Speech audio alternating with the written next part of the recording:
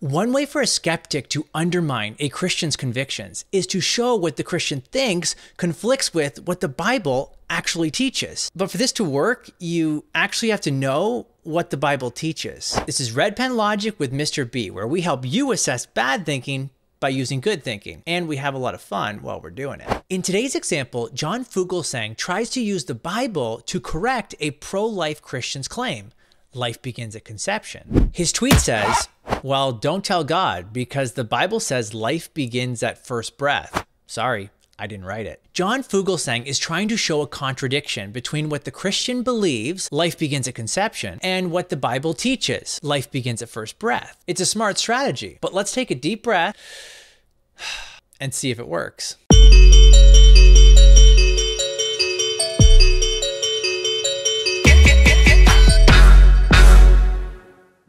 Fugelsang doesn't give us any Bible references to show that the Bible says life begins at first breath. But I think it's safe to assume that he's referring to the account of the creation of Adam and Eve in Genesis 2. But if that's the case, we have a problem because the Bible doesn't teach there that life begins at first breath. Fugelsang needs to take a closer look at his Bible. It says that God breathed into Adam and Adam came to life. Genesis 2 7. So the author of Genesis is describing what God did in the unique circumstance of the creation of the first man and woman. He's not telling us how all human beings come to life. The Bible doesn't teach that every man comes to life at first breath any more than it teaches that every woman comes from the rib of a man. This was a special case. It only applied to the man made out of mud. Fugelsang is guilty of taking a descriptive account of Adam and Eve's unique creation and making it a prescriptive rule for when all life begins. If we want to know what the Bible teaches about when life begins, we're going to have to look elsewhere. And when we do, we find the Bible consistently elevates the status of unborn humans to valuable individuals. In other words, the Bible recognizes personal life before first breath. That includes this passage from Psalm 139 13. You formed my inward parts, and you knitted me together in my mother's womb. The Bible affirms that we exist in the womb as ourselves before we are born. And Luke makes the exact same point the psalmist makes. In Luke 1 41 to 44, he records, get this, a pre birth interaction between Jesus and John the Baptist that tells us exactly what the biblical view is.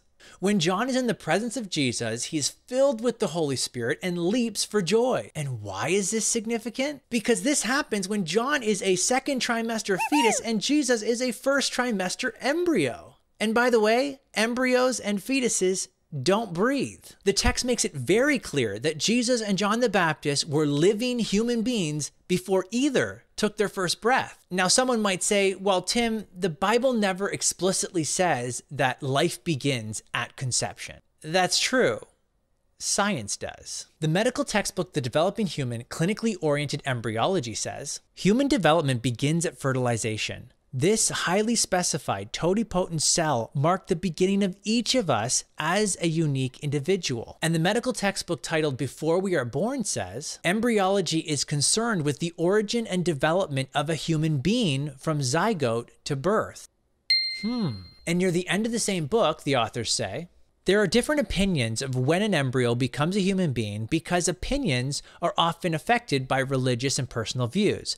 The scientific answer is that an embryo is a human being from the time of fertilization because of its chromosomal constitution.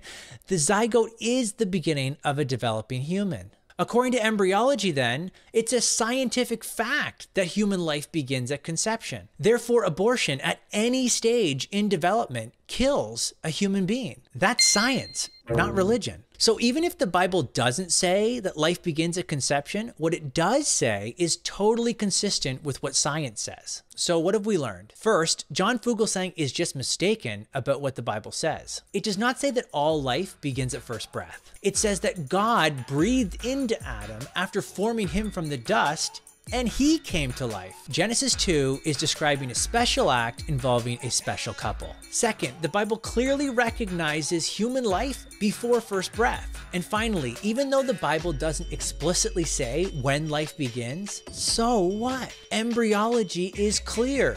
Human life begins at conception. And this is totally consistent with scripture. The Bible does not teach that life begins at first breath, but it does teach that human beings like Jesus and John were themselves long before their first breath. Sorry, I didn't write it either, John, but I did read it. Class dismissed.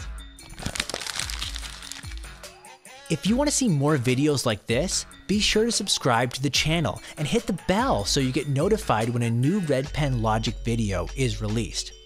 And if you want even more clear thinking Christianity, then subscribe to the Stand to Reason YouTube channel where we put out a new video every other week.